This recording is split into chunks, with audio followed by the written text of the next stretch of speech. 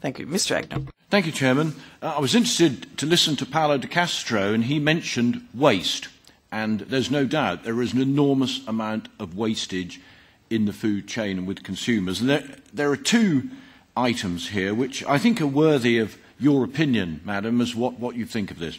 The first is food waste, as it is, um, used to in the past be fed to pigs. And it was known as pig swill, rather perhaps a, an unpleasant term, but that's what it was called. And pigs would eat this readily enough, and we would then eat the pigs.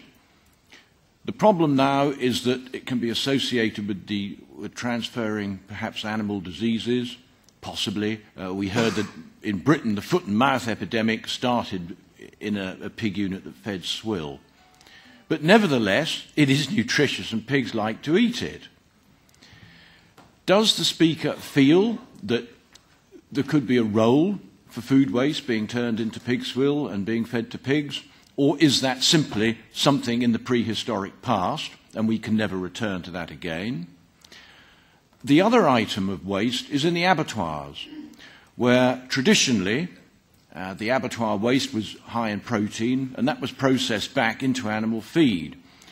And we know that whatever we do, we must not feed the same species back to the same species, and we should never anyway feed animal protein to ruminants. But actually, scientifically, there is not a problem with feeding ruminant and pig protein to poultry and with feeding, feeding ruminant and, uh, and poultry waste to pigs, as long as you cross the species barrier and don't feed to the same species. But again, there is public resistance to this. I just wondered what your feelings were uh, on, on it. There is waste. There are ways of using it. Are we prepared to do it? Thank you. I was asked uh, what I think about uh, using waste as pig swill, pig feed. Uh, but I should just recall that for many years, almost a century,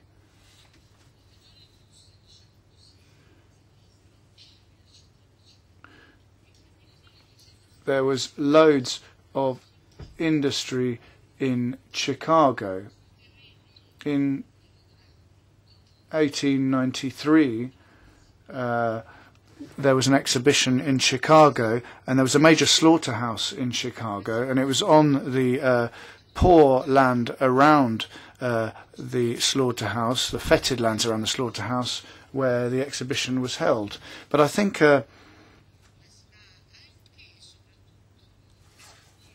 waste